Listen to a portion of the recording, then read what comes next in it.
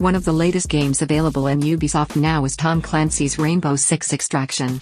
But like the other games, Rainbow Six Extraction is also experiencing some problems and one of it is not launching issue.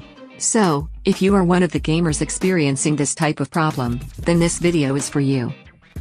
In this video, I will show to you how to fix Rainbow Six Extraction won't launch issue. Solution 1. Update your graphics driver.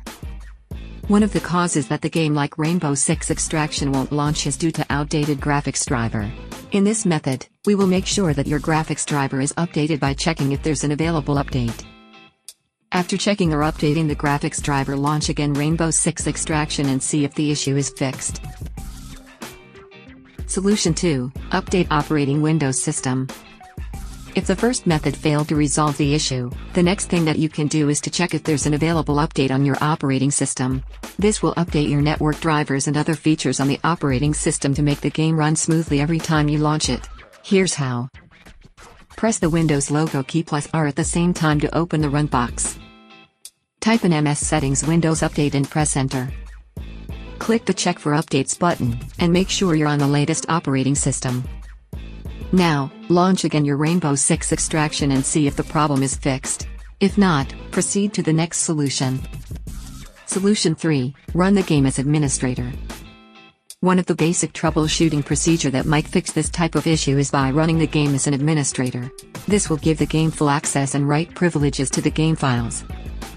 Go to the game installation folder. Right-click on rainbow6.exe and select Properties. Click on the Compatibility tab and check the Run as Administrator box. Click Apply and then OK to save the changes. Now, launch Rainbow Six Extraction and see if this method works. If not, move to the next step. Solution 4. Verify game files. If the previous methods is unable to resolve such problem, then you can try this step. This will fix any corrupt or outdated game files. Solution 5. Disable all background apps. If there are several programs running in the background that would be the reason your game won't launch. What we have to do in this method is to close all those programs that might interfere with your game by disabling it temporarily.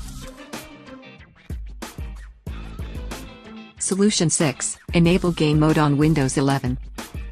Although some says that Windows 11 is more compatible with PC gaming than its predecessors, but some games are having issues running on Windows 11.